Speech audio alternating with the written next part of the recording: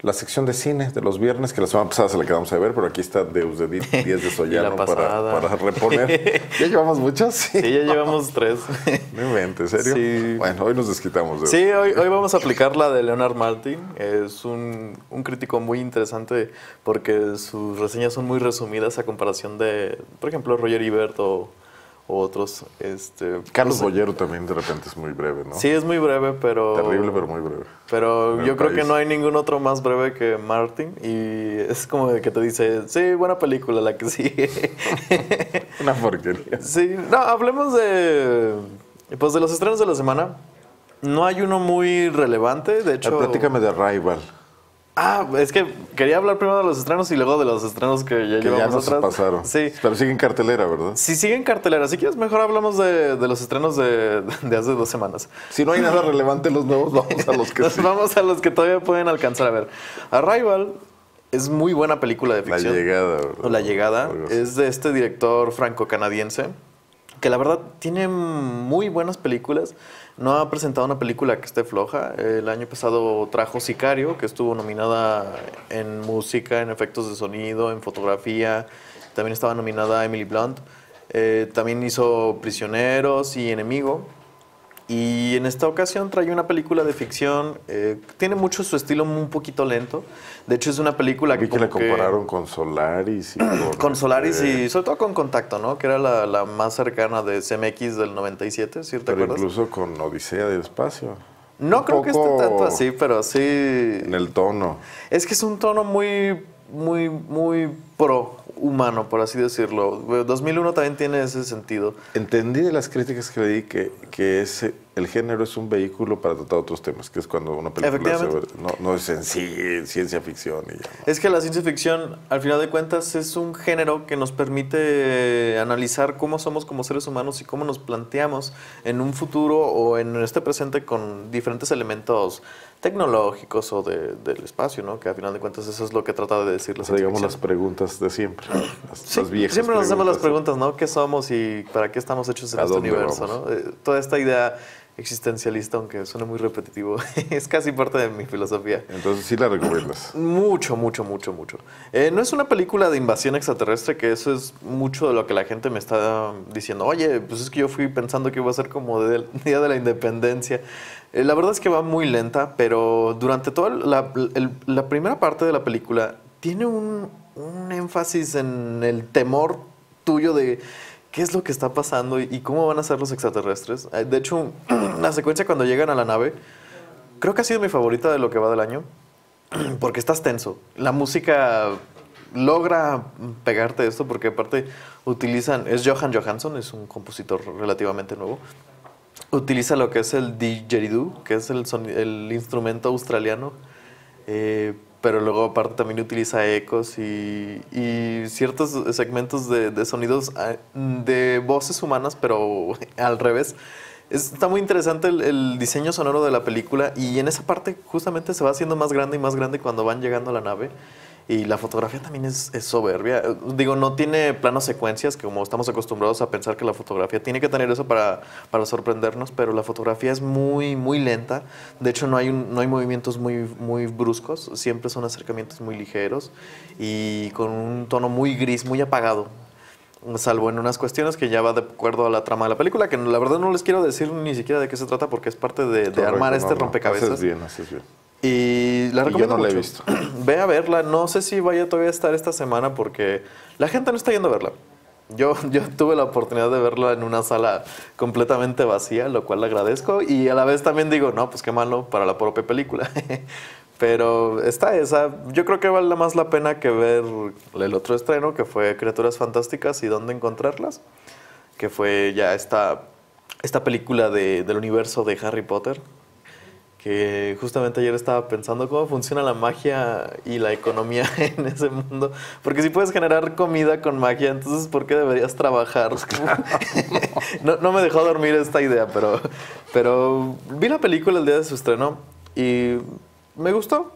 Eh, es una buena película, es una película entretenida, pero creo que siente ya estoy harto de esta idea de, Hollywood de oh, una película y después te vamos a presentar las otras cinco, ¿no? Porque van a ser precuelas y secuelas. Precuelas y, secuelas y todo lo demás. paralelos. Y, es que las historias, por lo menos en el guion de, de creatividad, ¿no? más bien como, no, no de creatividad, pero sí de, de amontonar todas las ideas en una sola película. Logran que se vuelvan prescindibles. ¿Cuál Harry Potter era? Este, ¿El 1, el 2 o el 3? No, ya el 4, no me acuerdo. No, pero las películas de Harry Potter, yo creo que hay, hay dos excelentes, que es la última y la que hizo Cuarón. Eh, la Piedra Filosofal también me parece una película muy rescatable. Yo me acuerdo que me divertí en todas, pero... Son divertidas. digo, si me dices Casa Blanca, es Casa Blanca. Ah, claro, o sea, Harry Potter nunca va a tener el nivel de, esas. Ah, salvo, yo creo que El Prisionero, porque tiene una... O Blade Runner, que va a haber ahora una nueva película de Blade y la está haciendo... Este franco-canadiense. Eh, lo está haciendo ¿Cómo se llama? Es Denis... Soy pésimo con el francés, Villeneuve o Villeneuve. Suena como villanesco. Siempre Villeneuve. Villeneuve. Eh, él está haciendo la de Blade Runner para el próximo año. Pero te digo, con criaturas fantásticas eh, es David Yates. David Yates empezó a dirigir las de Harry Potter a partir de las 5, o sea, a partir de las 5, 6, 7, 8, y ya está, pues, vuelve otra vez al universo de Harry Potter. Lo siento muy cansado, en parte porque este año también hizo la de Tarzán y también fue una película como... Eh. como que también intenté justificar así como la idea de, bueno, si le salió mal Tarzán es porque le echó ganas en la otra, quiero pensar, ¿no? Y la verdad es que no, eh, está muy descuidada tanto la edición, incluso los efectos especiales a veces se ven un poquito feos. No por eso quiero decir que es una película aburrida, de hecho no me aburrió y me, me parece muy entretenida, pero siento que el crimen más grave de la película es que están estas dos historias en paralelo que maneja Rowling con un guion que sí funciona dentro de cada historia. Es decir, o sea, está la historia del que está buscando las criaturas fantásticas, que es Newt Scamander, que digo, también no es mi actor favorito Eddie Redmayne, pero pues a la gente le gusta, ¿verdad? Siento que siempre está en un solo tono. Y... Hasta cuando hizo la chica danesa. Sí, es que siempre tiene la misma cara y siempre como que está viendo al... sea hombre, mujer o cosas. Sea hombre, mujer, lo que sea, piedra, papel o tijera. siempre va a ser como la misma interpretación y aquí, pues igual en una decepción a la gente que, que, le parece un excelente actor, a mí no me parece excelente. Funciona dentro de la, de la historia e incluso creo que tiene una lógica de por qué es así, pero ya me está un poquito cansando Eddie Redmayne.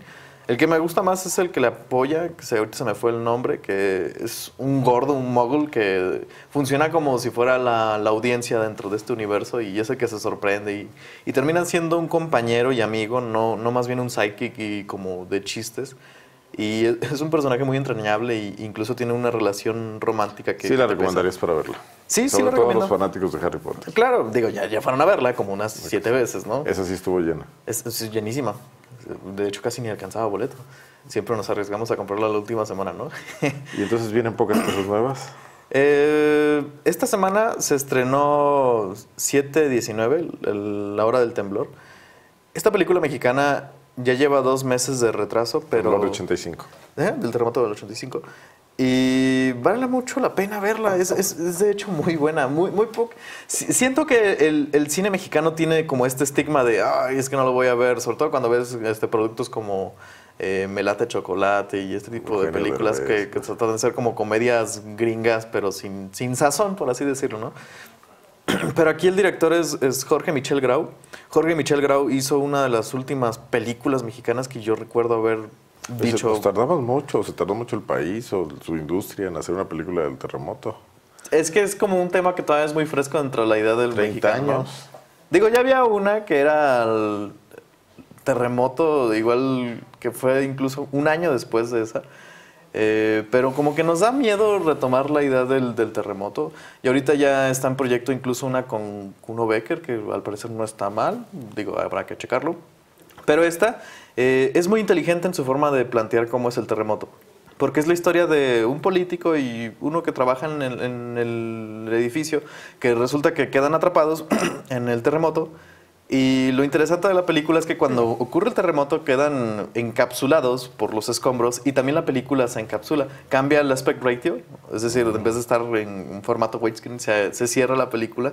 Como si fuera un iPhone o algo así. Uh, no, por así decirlo. Es decir, como si fuera, por ejemplo, la pantalla de, de tu iPad y como que logra este efecto de de enclaustrar a, los personajes. De claustrofobia. Y, de claustrofobia. Y aparte el diseño sonoro es muy bueno porque nada más ves a estos dos personajes, pero estás escuchando tanto las réplicas del terremoto como gente que todavía está eh, atrapada y no las, no las puedes ver. Entonces, este, es una película de suspenso muy, muy efectiva y, que logra... Una especie de tour de force actoral, los dos solos. Sí, porque es este, es, si no me equivoco, Demian Bichir y, y, Héctor Bonilla, que no me parecen malos actores, me parecen muy buenos y logran, logran este cometido. De hecho, la, última película que... ¿eh? no, los dos son muy buenos.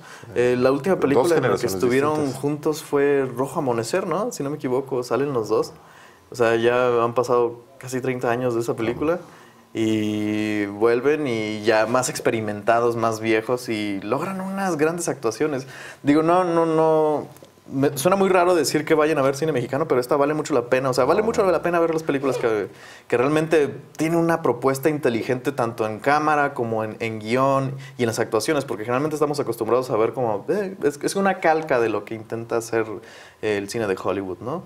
Y pues eso sería como el estreno más rescatable. Muy bien. No, pero sí vale la pena. Qué bueno que nos dices 7 Digo, me gustaría hablar también un poquito de Rocky, que cumplió 40 años. Tienes un minuto. ¿Tengo un minuto? Rocky es la película más inspiradora de, de, mi vida, por así decirlo, ¿no? Es una película que a mí me llegó cuando yo era un niño y... Rocky, la primera. La primera, eh, dirigida por John G. Avildsen.